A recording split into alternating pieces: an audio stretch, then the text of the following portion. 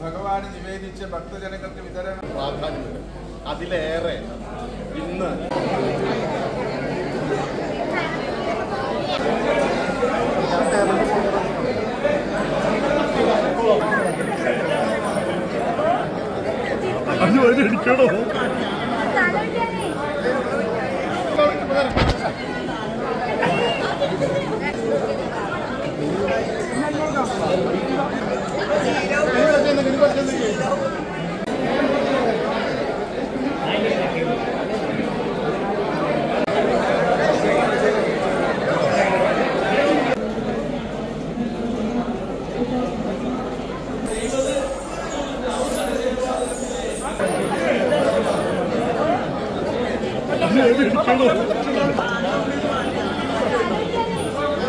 Hallelujah.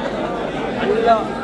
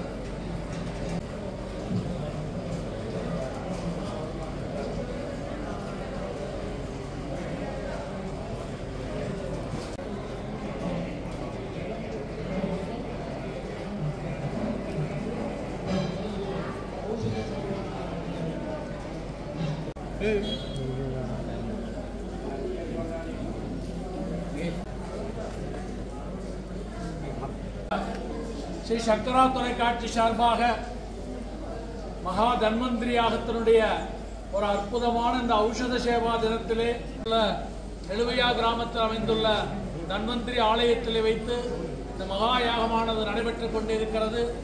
இன்றைய தினம் வருடமும் கர்க்கடக மாசத்திலே பதினாறாம் நாள் என்று சொல்லக்கூடிய நாளிலே அதுவும் இம்முறை ഏകാദശി തിഥിയിൽ ഔഷധം ഭഗവാന് നിവേദിച്ച് ഭക്തജനങ്ങൾക്ക് വിതരണം ചെയ്യുന്ന ഈ ഔഷധ സേവ എന്നുള്ളത് ക്ഷേത്ര തന്ത്രി ബ്രഹ്മശ്രീ കീഴ്മുടയ നീലകണ്ഠൻ നമ്പൂതിരിപ്പാടിനെ ആദരപൂർവ്വം ക്ഷണിക്കുന്നു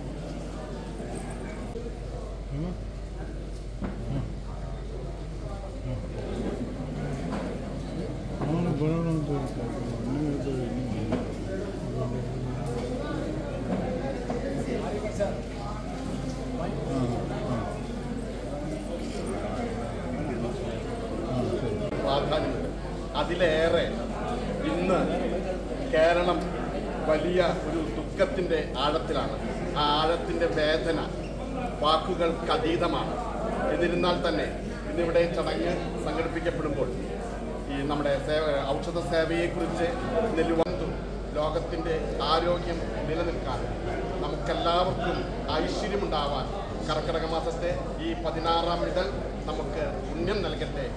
ഏറെ ദുഃഖത്തിലാണ് കേരള ജനതയെങ്കിലും നാം ധന്യന്തിരി ഭഗവാന്റെ ഈ കോവിലകത്തു നിന്ന് ഈ ക്ഷേത്രാങ്കണത്തിൽ നിന്ന് നമ്മുടെ ആ പ്രാർത്ഥനയും അവിടെ എത്തട്ടെ. നമ്മളെ കേരളത്തിലെ ദുരിതമനുഭവിക്കുന്ന വയനാടിന്റെ മക്കൾക്കും നാം പ്രാർത്ഥന സമർപ്പിക്കുകയാണ്.